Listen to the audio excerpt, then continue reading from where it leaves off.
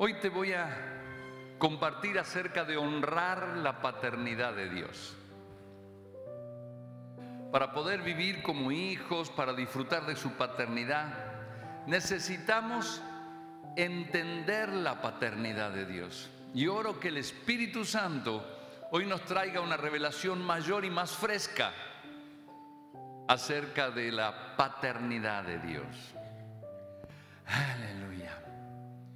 Hay un versículo que me conmueve cada vez que lo leo. Dios no tenía la obligación de ser nuestro Padre.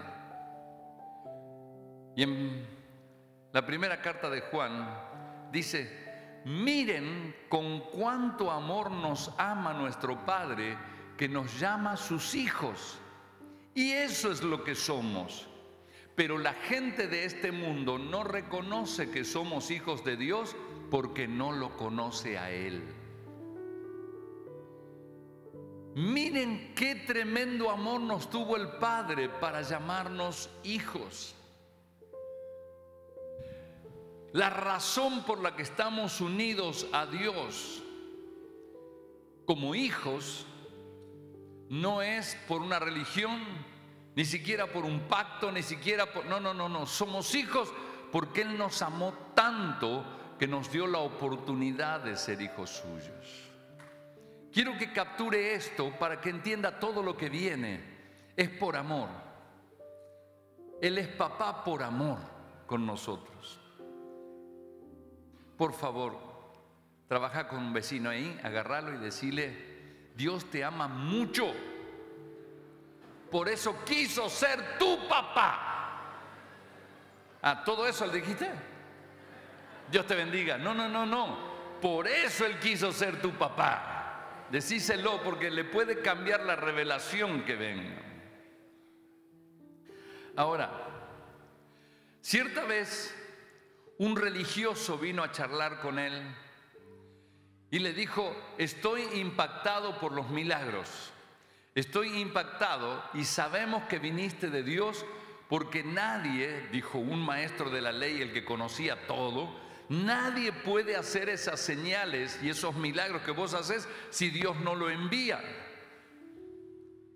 Y la respuesta de Jesús a él lo dejó helado. Te digo la verdad, le dijo, el que no nace de nuevo no puede tener parte en el reino de Dios. Upa. Le estaba diciendo, hay una condición excluyente.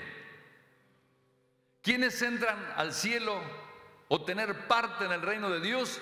Los que nacieron de nuevo.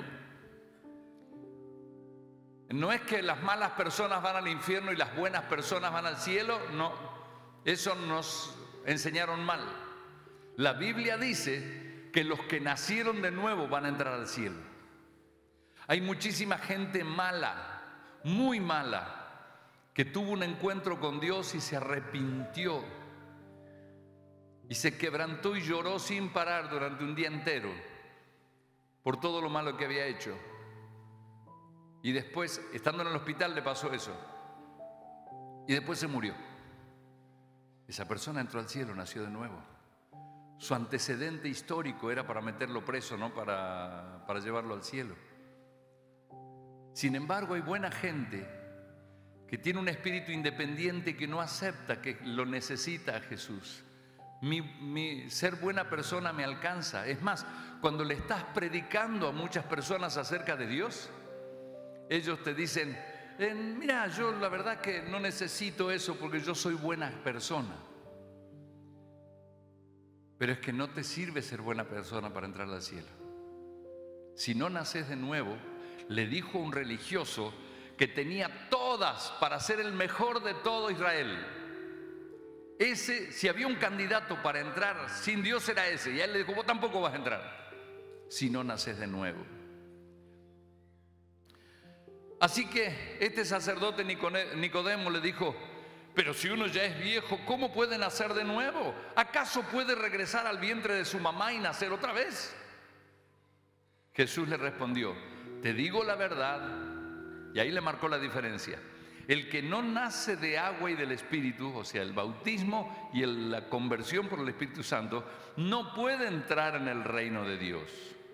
Y le explica así, el que nace de padres humanos tiene vida física, pero el que nace del Espíritu tiene vida espiritual. Solamente el que tiene vida espiritual va a entrar al cielo. No te sorprendas, le dijo Jesús, si te digo, ustedes tienen que nacer de nuevo. El viento sopla para donde quiere ir, tú lo escuchas soplar, pero no sabes de dónde viene ni para dónde va. Así es con todos los que nacen del Espíritu. No te lo puedo explicar y mostrártelo. No se ve, es como el viento, que sabes que está ahí. Lo escuchás soplar, pero no te lo puedo explicar. Esto es natural. Vos pensaste cuando te dije nacer de nuevo, pensaste en la panza de tu mamá, así gigante para que vos puedas caber adentro, porque tu mente está en la carne y no entendiste que esto es espiritual. Entonces el que nace de padres humanos es natural. El que nace de padres humanos tiene vida física, pero el que nace del Espíritu, ese tiene la vida de Dios para entrar al cielo. Así que Dios nos enseña que Él quiere lograr en cada persona ese nuevo nacimiento. El apóstol Juan cuando, descubre, cuando describe a Jesús en su evangelio, dice, vino a los de su propio pueblo y hasta ellos lo rechazaron, pero a todos los que creyeron en Él y lo recibieron, les dio el derecho de llegar a ser hijos de Dios. Ellos nacen de nuevo, no mediante un nacimiento físico como resultado de la pasión o de la iniciativa humana, sino por medio de un nacimiento que proviene de Dios. Nosotros tenemos nuestra carne, nuestra naturaleza, que es nuestro cuerpo y nuestra alma. La tenemos así porque un día nuestros padres se unieron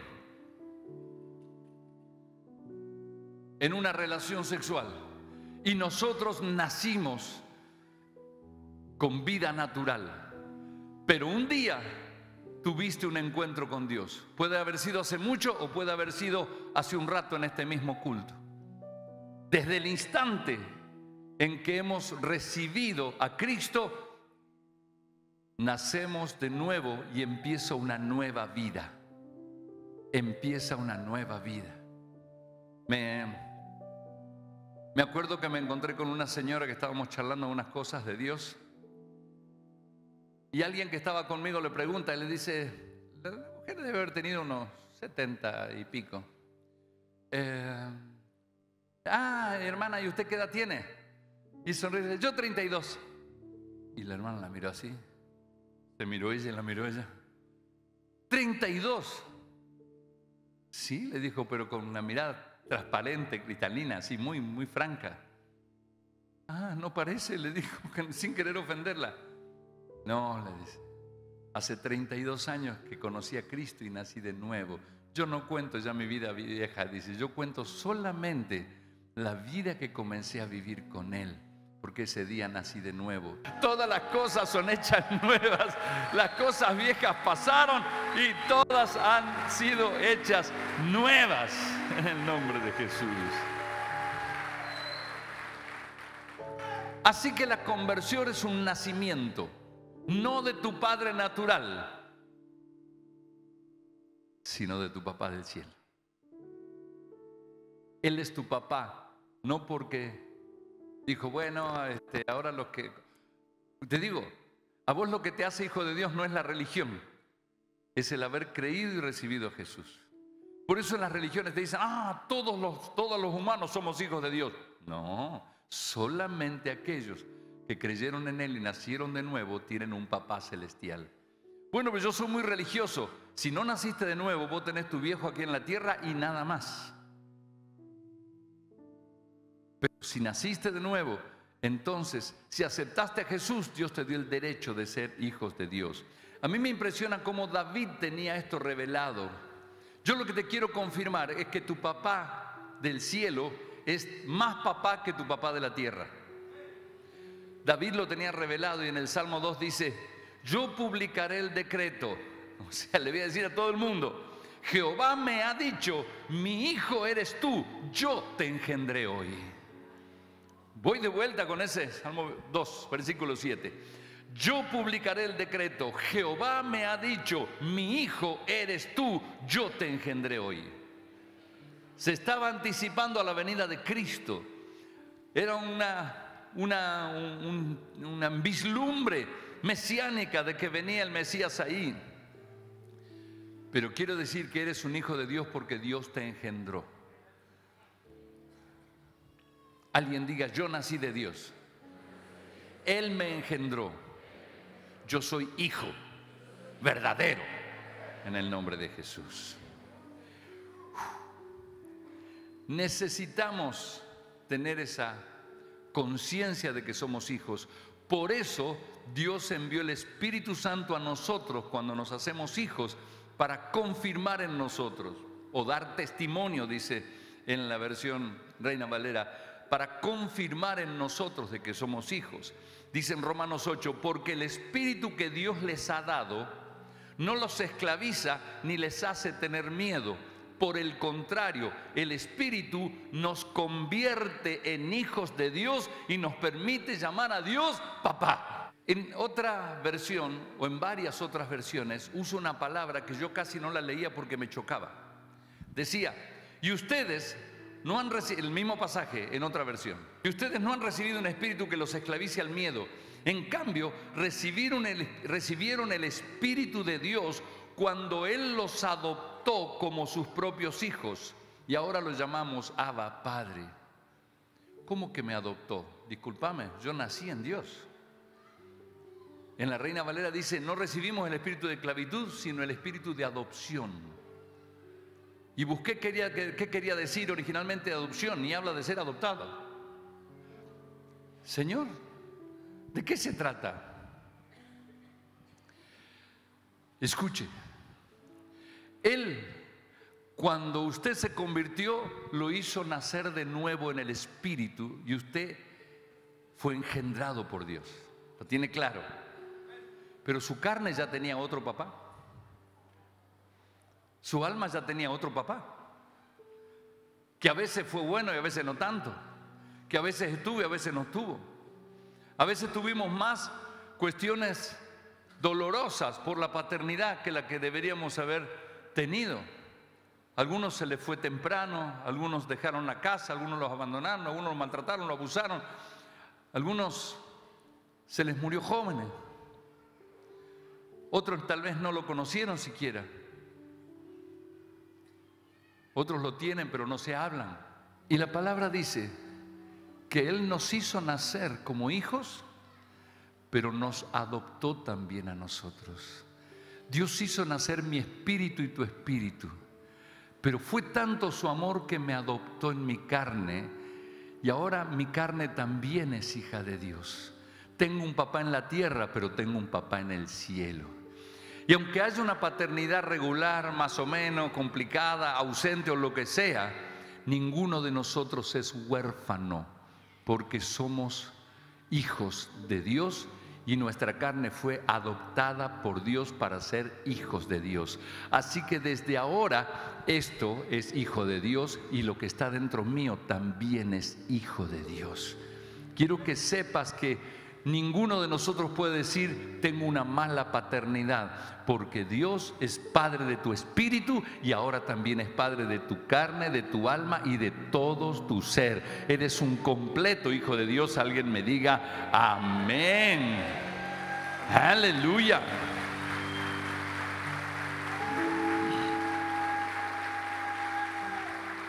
Y ahora que tenés un Padre que te cubre, un padre que te adoptó como hijo, porque Él no va a llevar al cielo solo tu espíritu. Él va a tomar tu cuerpo y lo va a transformar en un cuerpo glorificado y tu cuerpo también va a ir. Y tu alma, que nació cuando fuiste engendrado por tus padres, tu alma también será redimida. Tu alma es lo que sos, lo que te gusta, lo que odias, lo que te molesta, lo que te asusta. lo que pensás de alguien, lo que sentís por alguien, todo eso es tu alma.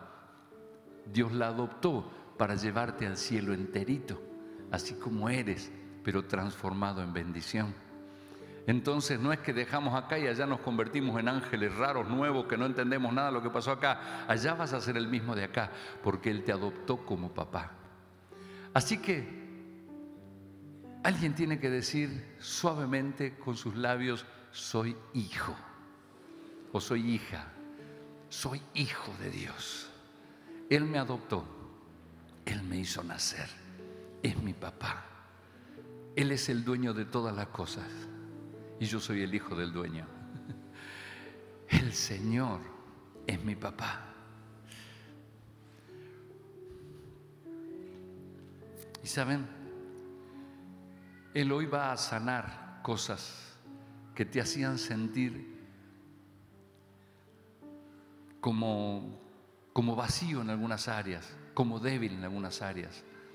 Él se va a fortalecer en ti hoy como tu papá y vas a descubrir que tu papá está más cerca de vos de lo que vos pensás. Y a veces por causa de nuestra paternidad terrenal no hemos tenido mucho encuentro con Él como Padre. Nos es más fácil movernos con el Espíritu, nos es más fácil hablarle a Cristo y decirle, Cristo, vos sos mi, mi, mi todo, mi guía, mi Señor, está perfecto. Y a veces el Padre está sentado allá y a veces no nos animamos a hablar en ese sentido con Él. Y yo oro que se te revele hoy quién es Él. Ahora, cuando nosotros entendemos y se nos revela quién es nuestro Padre, ¿qué le podemos regalar en el Día del Padre? ¿Sabes cuál es el regalo para el cielo, para el papá? Honrarlo, aprender a honrar al, honrar al Padre. A Jesús en, algún momento le dijeron, sos un endemoniado, vos sos, este, eh, como un insulto le dijeron, vos sos un samaritano y encima estás endemoniado. Y él le dijo, yo no tengo demonio. En lugar de eso, honro a mi Padre y ustedes me deshonran. Yo no tengo demonio, antes honro a mi Padre. Jesús marcó la diferencia. El que honra al Padre es, es una posición extrema, diferente del que está endemoniado, oprimido o el que tiene demonio. Si usted es alguien que ya fue liberado, cuanto más sea una persona que honra a su Padre, más tendrá del cielo. ¿Cuántos me van entendiendo en esto? Mateo 5 nos enseña cómo honrar a Dios. De la misma manera, dice, dejen que sus buenas acciones brillen a la vista de todos para que todos alaben a su Padre Celestial. Nuestras buenas acciones, nuestras acciones correctas, honran a Dios. ¿Saben? Ahí hay una lucha cuando hablamos de la gracia. Nosotros fuimos salvos por creer, no por ser buenas personas. La gracia de Dios nos limpió para entrar al cielo. Y Pablo dice, eh, todo me es lícito, pero no todo me conviene. ¿Cómo que todo me es lícito? La ley fue clavada en la cruz para mí, porque Dios ya la cumplió y nosotros fuimos crucificados con Él y ya no estamos perseguidos, porque si no cumplo todo, ninguno sería salvo si tuviéramos que cumplir toda la ley. Pero nosotros por creer recibimos la salvación. Y en Gálatas dice, ah, entonces pecamos cuanto queremos porque para que la gracia abunde. él dijo, de ninguna manera. Entonces, si ya la ley no me persigue a mí, ya no me juzga, ¿por qué tengo que portarme bien? Ahora me porto bien para honrar al Padre. Dice papá, que tus buenas acciones hablen por ti, que tus buenas acciones sean vistas por todos para que así alaben a tu Padre. Entonces, aquellos que viven una vida cristiana licenciosa, con permisos y con un montón de cosas, no solo ponen en riesgo su fe y si la pierden, pierden su salvación, sino lo que está pasando es que están deshonrando al Padre. Cada vez que tenés un gesto reconciliador en una familia peleada o con alguien que te está agrediendo, cada vez que devolviste un vuelto que te dieron mal, cada vez que tenés un cuidado con alguien o tenés un acto de misericordia, cada vez que haces algo que Dios te pide y sabes que es la voluntad de Dios, lo estás honrando a Él. El buen testimonio de nuestras vidas es una honra para Él. Llegar puntual a tu trabajo y hacer bien las cosas es una honra para Él. Por eso Él dijo, todo lo que hagan, háganlo como para el Señor. Entonces nuestra vida se vuelve diferente, no porque si yo mido el parámetro de la ley o lo que sea, a ver si yo hago esto, no hago aquello, me voy a volver un religioso juzgador de la gente. Pero si yo cuido simplemente que todo lo que yo haga y todo lo que yo diga honre a mi papá, le estoy mostrando que lo amo como hijo. En este Día del Padre, qué bueno sería que hagamos un pacto de que nuestras acciones honren a papá. Porque Él decidió hacerte nacer de nuevo. Fue su voluntad que seas hijo engendrado por Él y Él adoptó tu carne que no era perfecta y tu alma que no era perfecta. Y Él te adoptó para transformarte y que vivas en plenitud en el cielo con Él. Amén. Aleluya. Un ejemplo, por ejemplo, está en Mateo 5. Han oído la ley que dice, para darte un ejemplo de lo que es honrar al Padre, han oído la ley que dice, ama a tu prójimo y odia a tu enemigo. Así dice la ley. Pero yo les digo, ama a tus enemigos y ora por los que te persiguen. De esa manera estarás actuando como verdadero hijo de tu Padre que está en el cielo. Alguien diga, hmm". los perdonadores dicen amén. Actúas como verdadero hijo cuando sos alguien perdonador.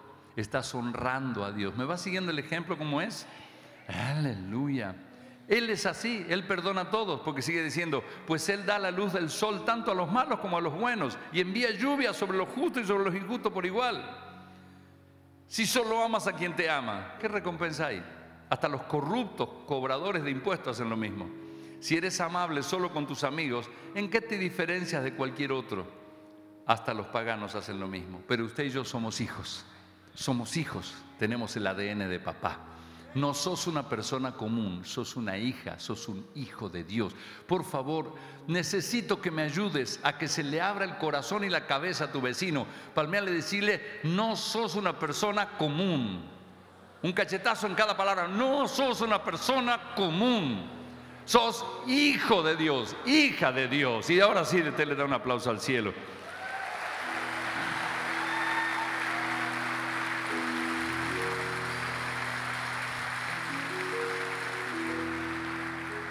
Cuando servimos a Dios, también honramos a Dios. Por eso en Juan dice, ustedes darán honra a mi Padre dando mucho fruto y así demostrarán que son mis discípulos o mis seguidores. Los que sirven a Dios, le predican a todo el mundo, están honrando a papá. Y cada vez que queremos hablarle a Él, le decimos, Señor, vengo a mostrarte, Dios mío, que te amo y que te honro como papá. Y en este día del Padre sacó pecho diciendo, Señor, te sirvo y peleo por ser una persona que haga que las personas hablen bien de ti. Cuando la, la palabra dice, el hijo desobediente deshonra a su padre. Hay cristianos que dicen, si este va a la iglesia y mira todo lo que hace cuando sale de la iglesia, esto no, esto, esto es todo una mentira. Están deshonrando el nombre del Señor. Pero cuando alguien mira y dice, wow, Dios le hizo algo este porque lo cambió, entonces estamos honrando a papá en nuestra vida. Y cuando aprendemos a perdonar y a manejarnos en buenas acciones, estamos honrando la paternidad que vino del cielo. Alguien me dice un amén fuerte sobre esto. Aleluya. Ahora, a papá, a los papás nos encanta darle regalitos a los hijos. Em, A mis hijos ya no les doy regalitos. Si necesitan algo suele ser más caro que, que cuando eran Pero ahora con mi nieto es así. Y entonces me da gracia que Eh, a veces, mamá, comprame para un regalo, porque estamos en una feria por comprar algo para alguien. Mira el juguete, mira el, Mario Bros, mira el, Spider-Man. Y mira, mira, regalos no, no dispongo plata para eso. Por ahí, si, si encontramos, te voy a comprar una pavadita. Bueno, dice Lo cierto es que estamos paseando con Teo de la mano. Y dice, ah, güey, ¿puedes comprarme un...? Y lo miro así como, ¿alguna pavadita? Porque a los abuelos nos gusta regalarle cosas a los chicos y a los padres también. Escuchen. Entonces, a Dios también nos les encanta regalarnos cosas. No solo entregarnos la herencia, porque Dios dice, no teman, manadita pequeña, a mi Padre le dio placer entregarles el reino. Todo es tuyo, todo es tuyo, no hay nada que tengas que ganarte. Pero al Señor le encanta regalarte el postre extra, el regalito extra. Son los que Dios le llama las recompensas de papá. Saben que, por ejemplo, cuando vos haces una buena acción, sin sacar pecho ni mostrar, Dios te recompensa. Dice Mateo 6, tengan cuidado, no hagan sus buenas acciones en público, decía Jesús, para que los demás los admiren, porque perderán la recompensa de su Padre que está en el cielo. Cuando ustedes hacen cosas, vino alguien necesitado y no le dijiste nada a nadie, y le diste lo que tenías.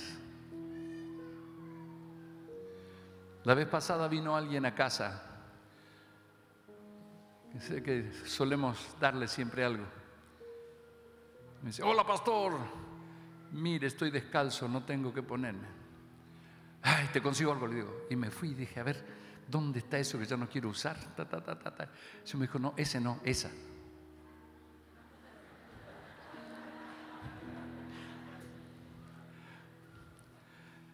Y se la pasé y se la entregué. Fue un regalo de Dios ver el rostro de esa persona. Nadie se enteró que regalé uno de mis mejores calzados. ¿Sí? En realidad ahora estoy arrepentido. No, no, no, no, no por haberle entregado eso, sino por haberles contado. No quiero perder mi recompensa por hacer público. Porque Dios dijo que nadie se entere, recién me doy cuenta que se están enterando todos. Pero Bueno, así son las cosas del reino. No, no dice que está mal que se enteren, dice mal que le des para ser visto o para que se enteren. Entonces, cuando lo haces de esa manera, hay recompensa, hay regalitos extras del cielo. Esas cosas que decís, Señor, yo no te pedí todo esto, ¿cómo me lo diste?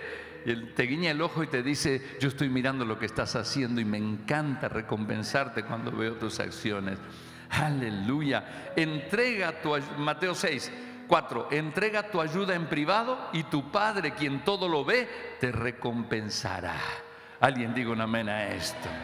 Aleluya. ¿Sabe qué otra cosa desata regalitos de Dios? Tu relación con Él. A veces cuando Teo le pide algo a mi esposa, Ah, güey, ¿me compras tal cosa o me darías tal cosa? ¿Me podés? Y ella le dice, si me das un besito te doy. Porque a veces no le gusta que lo brocen mucho. Entonces, así que él viene todo y beso en el cachete. E inmediatamente recibe su regalo. A Dios le encanta y Él premia que nos acerquemos a darle un beso también. Él premia y valora nuestra relación con Él. Dice, pero tú cuando ores, apártate a solas cierra la puerta detrás de ti y ora a tu Padre en privado. Entonces tu Padre, quien todo lo ve, te recompensará. Vendrá el regalito por estar con Él en privado. Decirle, Señor, aparté este tiempo solo para vos. Eso es honrar a papá y empezar a tener una fresca relación con Él. No solo tendrás tu herencia y la presencia de Dios, sino que también vas a recibir los regalitos de la recompensa de papá. Aleluya. Me dice amén.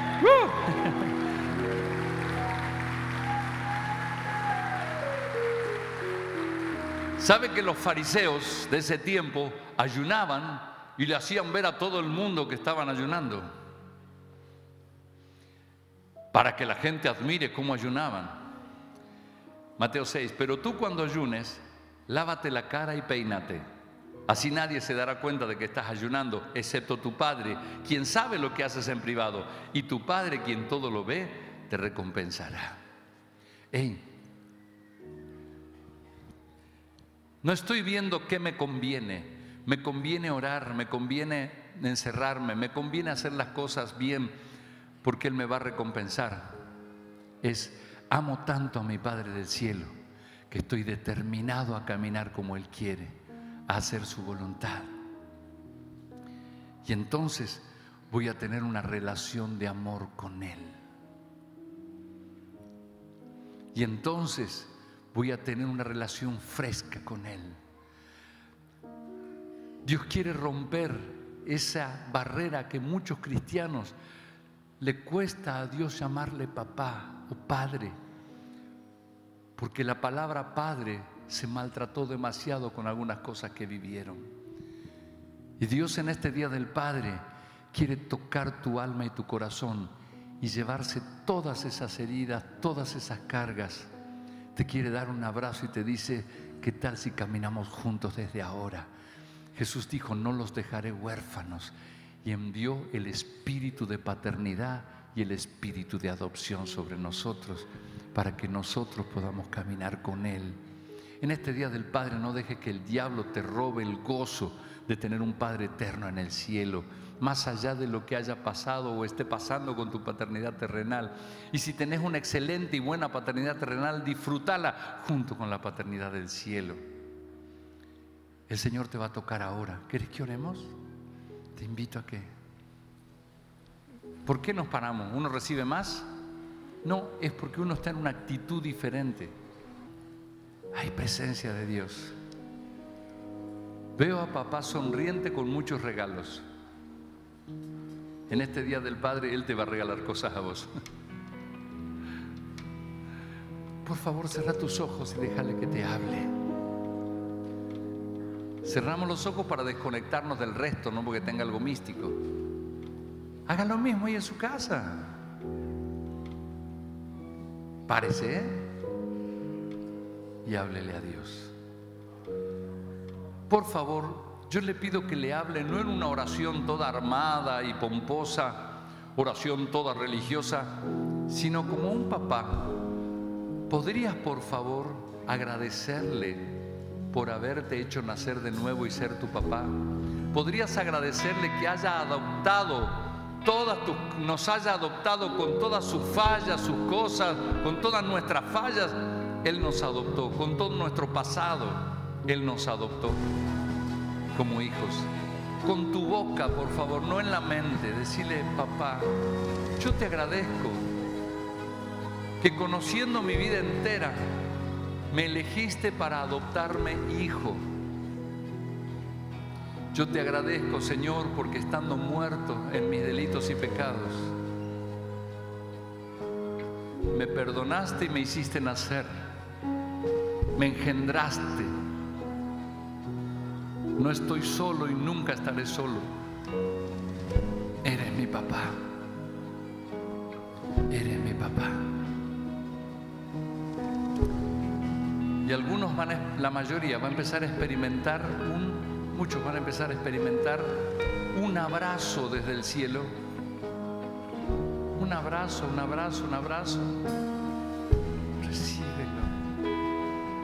Es un abrazo espiritual que se siente más fuerte un abrazo humano.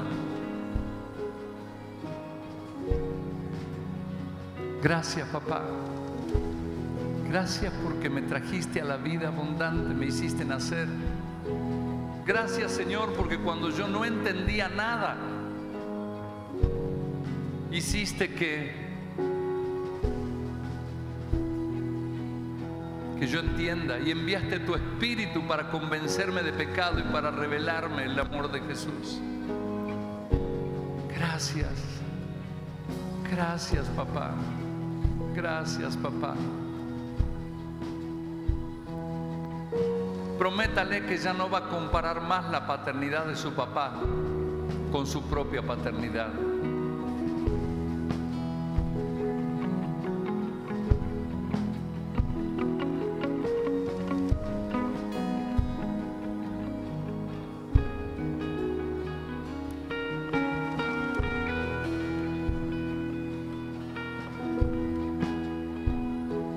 Se entristezca por los dardos de amargura que el diablo le quiere traer cada vez que llega el Día del Padre. Hay algunos que le pasaron cosas tan feas que el Día del Padre era un día para olvidar, no para recordarlo. Pero hoy le agradeces a Dios por lo que Él te dio. Qué cantidad de ángeles que se están moviendo acá. A nadie le va a faltar un toque de Dios personal para sanarlo. Dios le está diciendo a una dama, nunca más declares estoy sola. Lo haces desde pequeña, desde que tenías 10 años o no sé cuánto. Y esa palabra te acompañó todos los años de tu vida hasta ahora. El Señor está viniendo con nombres nuevos. Dios te está trayendo nuevos nombres. Vos sola te pusiste. Mi nombre es abusada. Mi nombre es abandonada. Mi nombre es soledad. No porque te hayan puesto en el documento, en tu ID, sino tu nombre es otro, pero te llamaste soledad. Hija, recibí mi paternidad, dice Dios. Hijo, recibí mi paternidad. Ya no te llamas con el nombre que vos misma te pusiste o que otros te pusieron.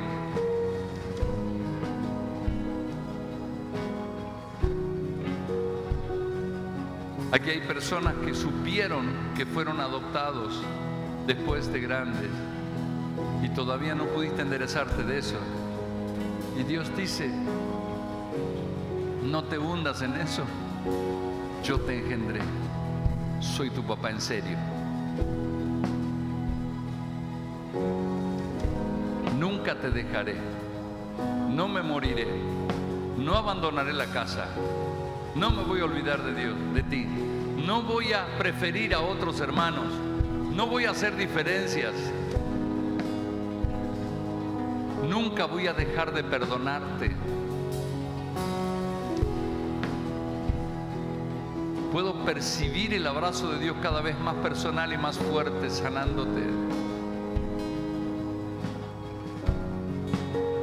Se sana, se sano, se libre, se libre. Veo un hombre aquí que es un muy buen hombre, pero por haber tenido una paternidad tan dura, tu relación con tus hijos, aunque te esforzás por cambiar eso, tu relación con tus hijos no es cálida, no es cercana. Ellos aprendieron a respetar la distancia que vos le pusiste y se volvió lo normal. Y Dios dice, hijo, no eres huérfano. Yo te amé, te perdoné, te abracé, te sostuve. Y yo ahora también soy tu sanador y voy a sanar tu cuerpo y voy a sanar tu alma en este momento. El Señor está haciendo un trabajo muy profundo en muchos aquí. Recibe, recibe, recibe, recibe, recibe, recibe, recibe. No solo en aquellos que tuvieron un problema de paternidad. Yo tengo una buena paternidad, mi papá está vivo y fuerte. Pero mi papá eterno no tiene comparación. No tiene comparación. Hija, no tengas miedo. Desde que se fue tu papá, aprendiste a ser miedosa. Miedo a estar sola, miedo a las tormentas, miedo a la puerta cerrada, miedo a la oscuridad. Hija, no te dejaré ni te desampararé nunca, nunca.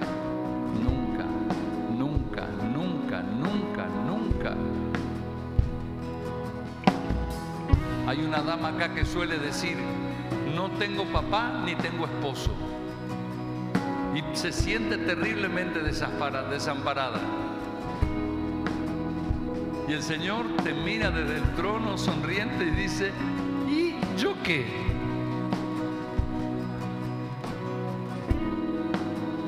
El Señor se levanta del trono y corre a abrazarte. Hombres, somos quien tiene que abrir camino en la casa, somos los que tenemos que pararnos, somos los que tenemos que sostener cuando algo se desanima, según la directiva del cielo. A veces lo hacemos bien, otras veces no tanto. Pero Dios dice, en tu relación conmigo, sé hija, sé hijo, por favor, sé hijo, sé hijo conmigo. Sé un hombre, sé bien hombre en tu casa, pero sé hijo.